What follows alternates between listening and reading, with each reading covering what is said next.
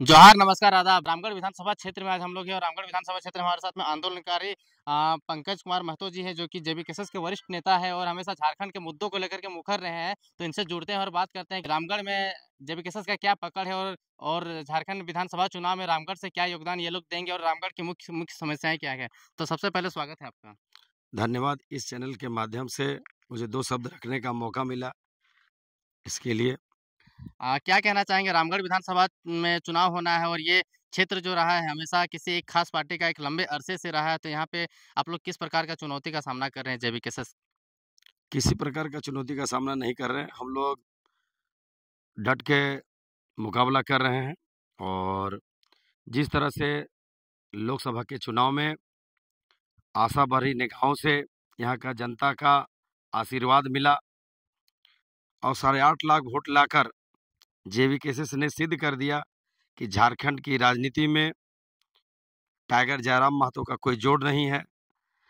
हजारीबाग लोकसभा की बात करें, गिरिडीह लोकसभा की बात करें, रांची लोकसभा की बात करें, धनबाद लोकसभा की बात करें, चतरा लोकसभा की बात करें, कोडरमा की बात करें, तमाम लोकसभा क्षेत्र में जितनी तादाद में वोट मिला है, कहीं ना कहीं Jharkhand Loktantrik Krantikari Morcha, JBKSS, Tiger Jairam पर आस्था रखते हुए लोगों ने वोट किया और आज झारखंड बने लगभग 24 वर्ष हो गए और 24 वर्ष में झारखंडियों को क्या मिला?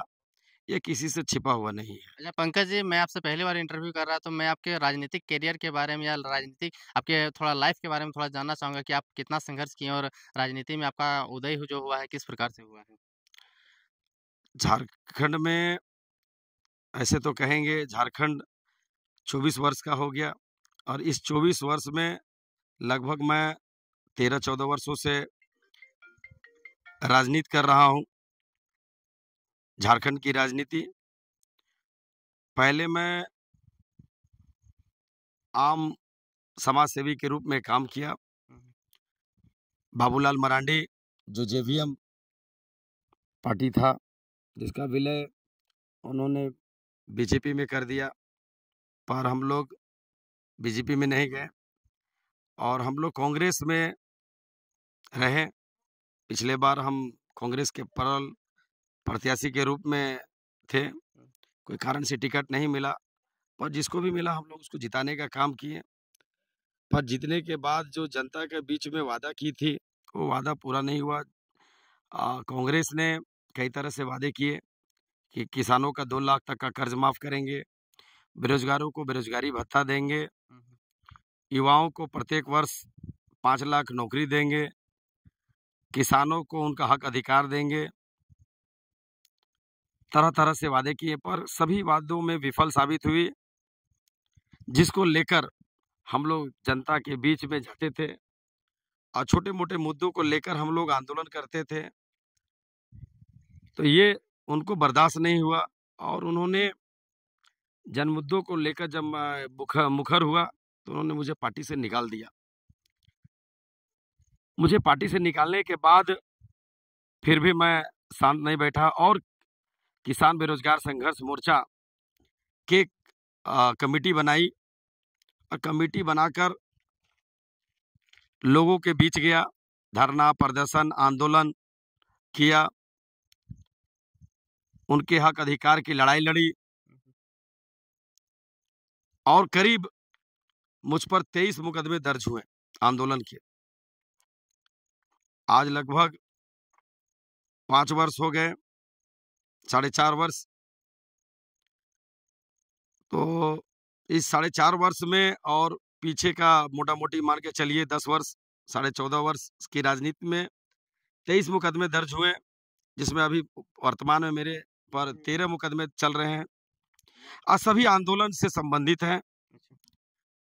और जहाँ पर हम लोग खड़े हैं इस पर इस ज़मीन बचाने को लेकर भी हम लोग आंदोलन किए थे। ज़मीन पर बाद में आएँगे। पहले आप ये बताइए रामगढ़ विधानसभा में जो इस बार चुनाव होना है क्या क्या मुद्दे रहेंगे आप लोग के जेबी केसेस के द्वारा? सरकार की नीतियाँ। जो सरकार झारखंड में जेएमएम कांग्रेस की सरकार है, जो जनता के बीच में मुद्दों को लेकर गई थी कि हमारी सरकार बनेगी तो प्रत्येक वर्ष पाँच लाख लोगों को हम नौकरी देंगे। बेरोज़गारी भत्ता देंगे। किसानों को उनको हक अधिकार देंगे। आंगनबाड़ी सेविका सहिया दीदी को उनको मानदेय बढ़ाएँगे पारा टीचर को स्थायी करेंगे, उनका मानदेय बढ़ाएँगे सिपाही जो काफ़ी इस राज्य की सुरक्षा को लेकर सजग है। उन लोग को परमानेंट करेंगे, उनका मानदेय बढ़ाएँगे पर वो हर एक मोर्चे में झारखंड सरकार विफल साबित हुई।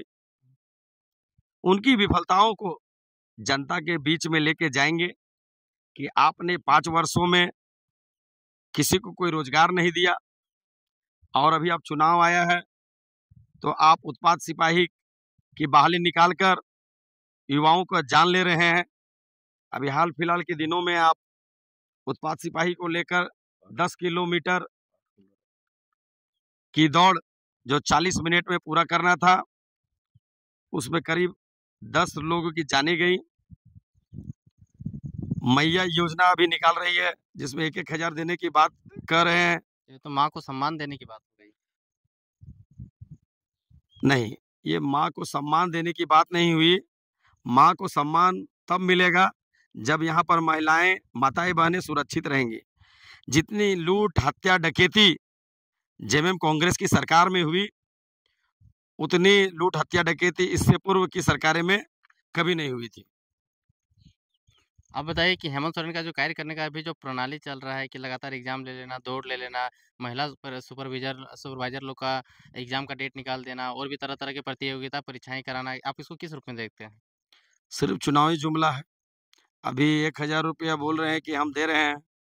ये 5 साल तक कहाँ थे? सरकार तो 2019 में बना था। 2019 से ही चालू करते कि हम सब मैया योजना सबको देंगे। कोरोना था उस टाइम बोल रहे हैं। कोरोना में भी विफल रहे हैं। कोरोना में भी विफल रहे हैं। जो सुविधाएँ मिलनी चाहिए थी, आम जन को, किसी को नहीं मिला। लोग सड़कों पर पैदल अपने घर आए और सिर्फ़ पीठ थपथपाने की बात करते हैं कि हमने एरोप्लेन से लोगों को लाया। 100-200 लोगों को लाए होंगे, पर जितनी जनता उनके कोरोना काल में पीड़ित, अशोषित, अपेक्षित महसूस हुई और ज़िंदगी जैसे-तैसे काटे। कितने लोगों की जाने गई। यहाँ झारखंड में जितने भी अस्पताल थे, वो अस्पतालों में वहाँ दवाइयाँ नहीं थी, बेड नहीं था।